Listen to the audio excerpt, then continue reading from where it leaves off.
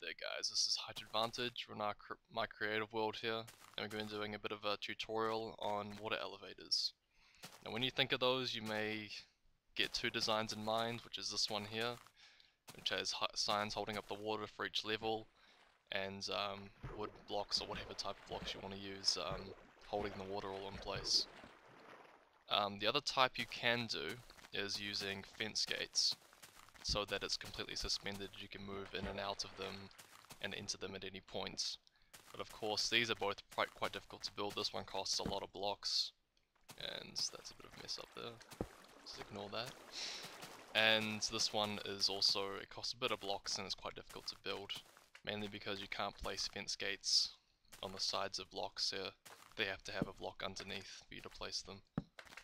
So yeah, these these designs they're probably good for undergrounds, maybe probably this one, but otherwise they're not they're not too practical for outdoor use.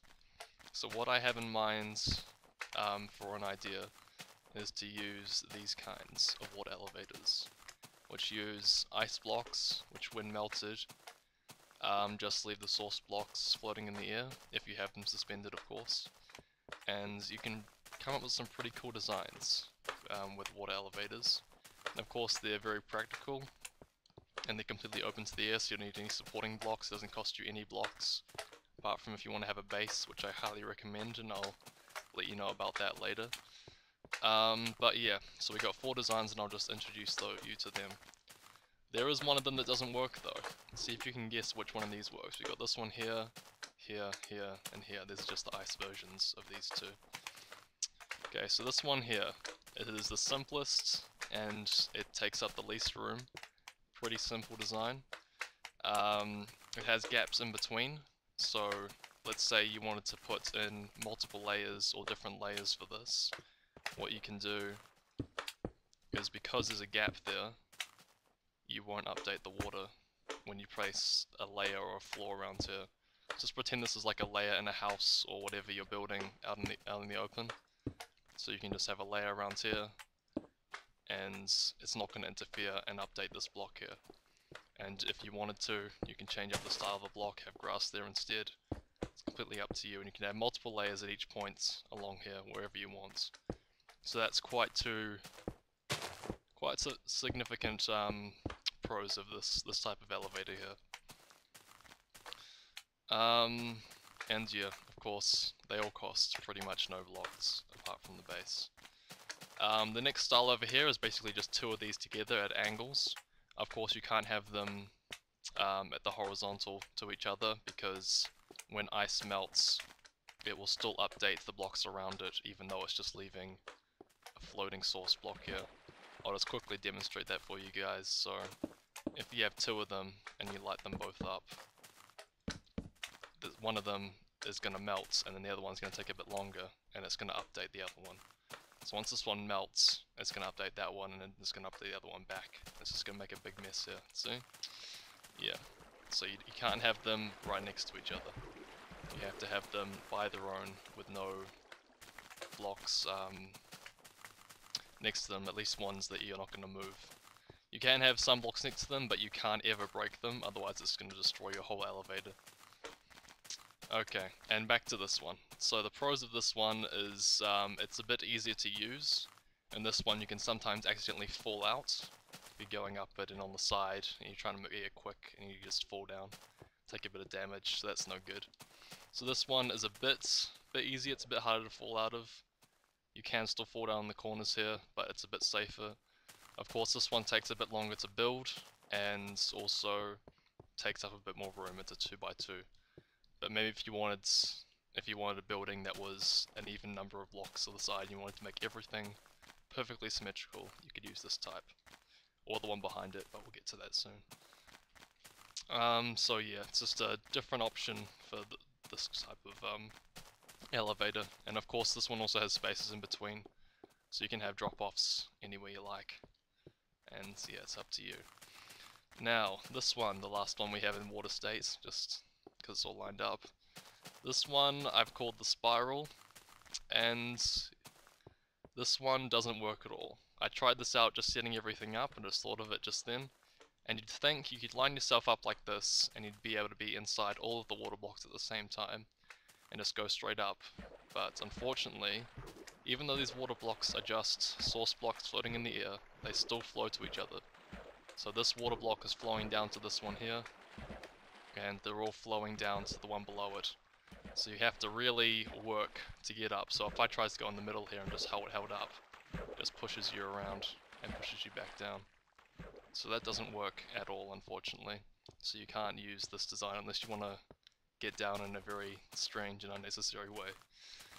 So yeah, that's this design. Don't use it. It's not good.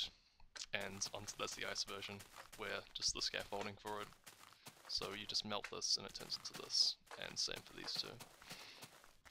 Now this is the more complex one. It takes a bit longer to build because you have to have ice for each level, especially if you're doing this in survival, where you're making, you have the ice silk touched, or you can build this inside a snow biome, it's up to you. Of course it is a lot easier to do it in a snow biome because you don't need any resources to do it really, just like buckets and that's it. Okay, so I call this one the mesh just because it's very dense and yeah, it's hard to fall out of. And the property of this, I'll just start melting it now because I don't have a water version of it. So this is how I go about melting mine. You may not want to use um, glowstone blocks if you're in survival. You can just use torches, but I'll show you a demonstration for using the torches correctly because you can get a bit mixed up with those. So I'm just melting it here. I'm not sure exactly the best way to melt it, but you have to make sure there is at least an air block in between them, because otherwise when I get rid of all this glowstone, if it was next to it right here, and I broke it, this would just all get destroyed because it would start flowing down all the layers, and they'd all get messed up. So you definitely want to make sure there's air blocks in between to stop the update, otherwise all your work's going to be gone to waste. So yeah, this one's quite difficult to build, it's quite yeah, intricate and it's going to take you a while to do, but it is does have some pros. Um, but we'll keep going with the cons. Um, this one, yeah, the problem with it is if you want to have layers on it, you have to do it before you melt it. So I could have a layer around here and just build a few blocks off the side here. But once it's all melted, if I break those blocks I built around the side, then it's going to update everything. So I can have layers, but I have to build them before I melt the structure, otherwise it's going to be all ruins. What you can do is have um, floors that are out to the side, so maybe you just wanted to... Stop flying. maybe you wanted to like jump out of it, you could. Even though it's quite difficult to get out of these, you could just have a gap in between. But if you wanted to have floors like right next to it, you just can't do it. Well, you can do it for some blocks, but you can't do it all the way around like you can with um, this elevator here. Okay. So this is just about melting, and you, and you get the idea with this. Um, I'll just show you once it's completely melted. It's getting there. That when you're actually swimming up it, because it's all symmetrical and it's all, um, yeah, all quite dense, it's got each one for each layer, it is actually quite difficult to get out of this water elevator because the water is all pushing towards the center. So it's a lot harder to fall out of and makes it a bit safer for going up it. It does make it a little bit more difficult to get out of it at a certain level, but I don't know, it just depends if that bothers you or not, really. So it's it's anybody's preference. So yeah, that's pretty much the features for it. Um, I'd say if you're quite advanced with doing this and you really know what you're doing, you can use this method. Um, also, if you wanted to use it to transport mobs quite a lot, like trying to get farm animals up in the sky or something like that, you can use this method as well, because it's only, there's no, only one space of air blocks in between, and they can all, short mobs can swim up it properly, because if you get them in the center, they'll just go straight up, and they're pulled, pulled towards the center as well, so they won't fall out too easily. Uh, getting them out of it's a bit more difficult, but um, yeah. it, it's up to you. I haven't tried anything with it, maybe I will in a later video.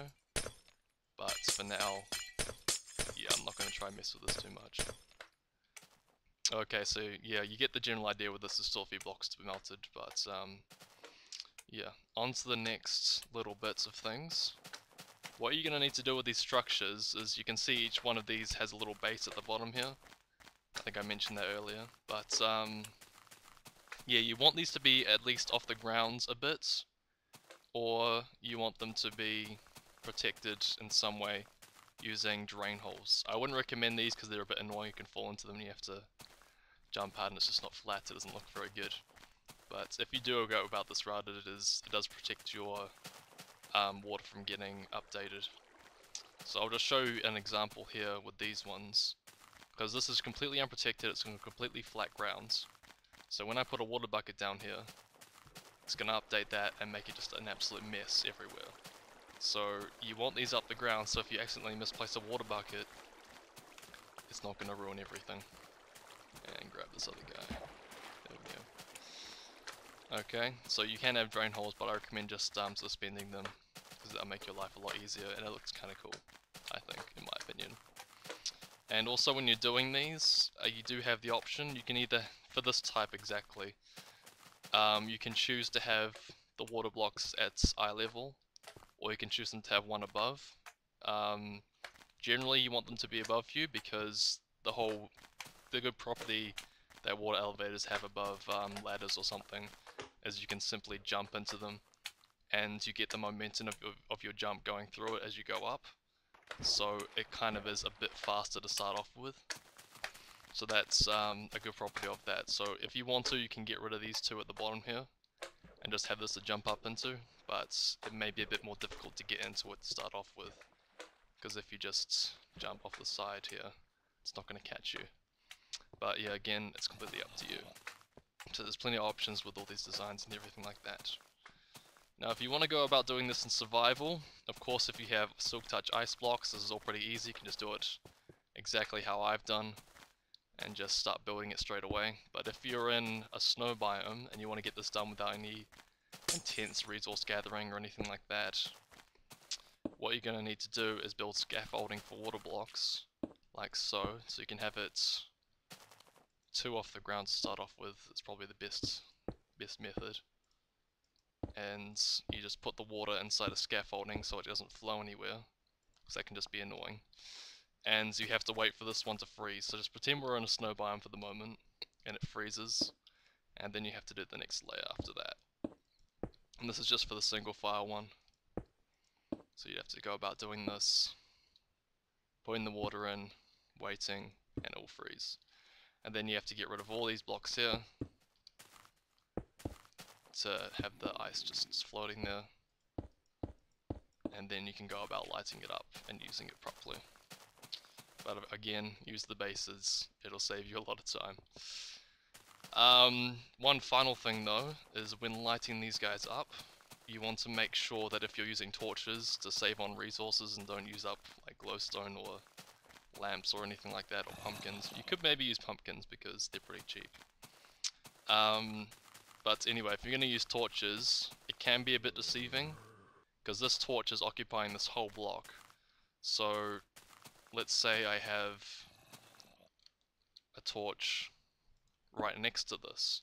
It may not look like um, it's right next to it, but it occupies the whole block, so it's going to update this water block if it's placed there. So if this was ice, let's say, we'll make it ice. No, wait, keep it there. then you could place a torch next to it to start off with. And it's gone back to water again. Okay. We'll change the time of day as well. Just so you guys can see a bit better. um, but you can place it here, it doesn't do anything obviously, but when you want to remove it, it's going to update the water and ruin everything you've just set up. So you can either go about doing this by having the torches at intermittent levels. So you could place a torch here, but not here, and then the one up next after that. Or you could just do a block back, because they will still melt it even if it's got an air block in between. So the brightness is still plenty sufficient there. But I think that's everything I need to mention for this tutorial guys. See it's updated there, ruined everything. Just a mess. Um, so yeah, thank you very much for watching guys. Leave a comment or anything in the comment section if you have any suggestions on how I could improve this, any other designs I could do, and any other applications. Just let me know and I'll be sure to respond to you. But yeah, again, thanks for watching and I'll see all of you later.